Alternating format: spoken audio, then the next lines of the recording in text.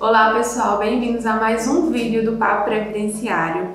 Hoje eu vou falar com você sobre um tema que é assim a dúvida principal de todo mundo que tem um processo na justiça e que está aguardando a sentença, que é exatamente isso. Qual é o prazo que o juiz ele tem para poder dar a sentença, para poder te dar a decisão do que você está esperando.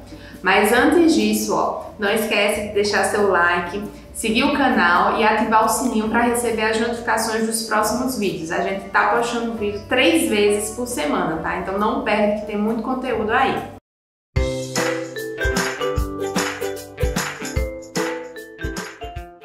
Pessoal, se você caiu aqui nesse vídeo, eu tenho certeza que a sua dúvida principal é saber quando é que eu vou receber a minha sentença, quando é que eu vou saber qual foi a decisão do juiz para o meu caso independente se for previdenciário, família, consumidor, o que seja. A gente tem o seguinte, é, é uma complicação, né? é um problema no judiciário, a gente tem uma, uma quantidade imensa de processos protocolados, é, e aí o que isso a, a, acontece, né? Culmina em quê? Culmina na demora, na morosidade do, do processo no judiciário. Veja bem, isso não significa que não existam regras, tá?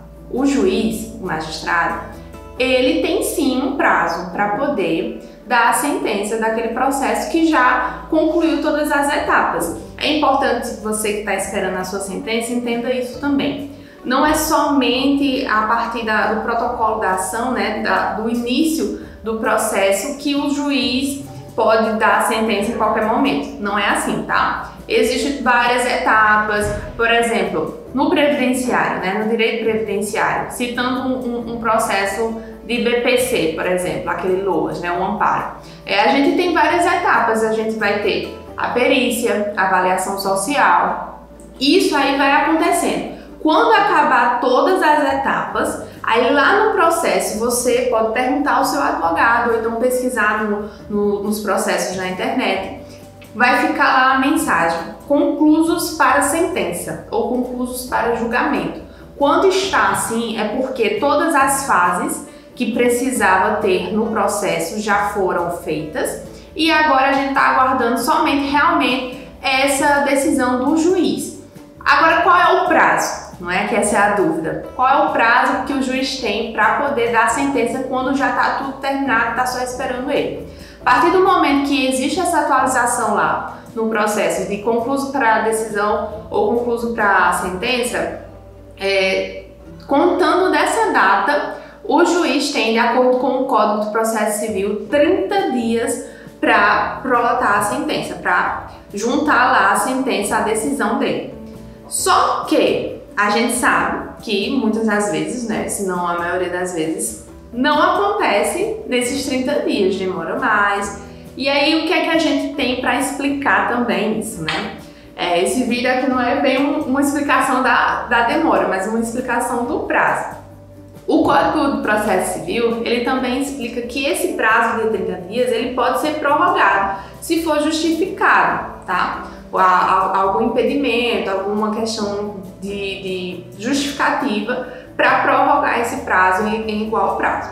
Então veja bem, é, a gente sabe que a justiça tem diversos processos, os juízes é, eles têm muitos processos para cuidar, né, para dar sentença, etc. Então o que acontece muitas das vezes, se não todas, é que por conta dessa demora, é, por conta da quantidade de processos que o juiz tem, ele não consegue, nesse prazo de 30 dias, dar a sentença. Então vai sendo prorrogado, vai sendo prorrogado até que é, chegue ao momento em que seja dada essa sentença. Mas a regra é 30 dias e esse prazo pode ser prorrogado se for justificado, entendeu?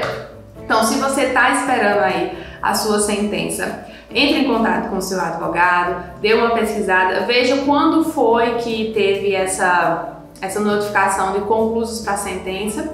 E aí a gente vai, você pode ir contando a partir desse dia quanto tempo já faz, se faz muito tempo, eu aconselho você a entrar em contato com o seu advogado para ele tentar fazer um, um despacho para ver se agiliza essa questão, tá certo? Então, pessoal, esse foi o vídeo, essa foi a explicação em relação ao prazo para o juiz dar a sentença. Se você gostou, não esquece novamente de deixar o seu like, seguir o canal e ativar o sininho para receber as notificações, tá certo? Também vou deixar aqui o número do Zap Cidadão para você é, deixar a sua dúvida. É 98722 3584, tá certo? Então, qualquer dúvida você pode deixar seu comentário que a gente vai também te responder. Até o próximo vídeo!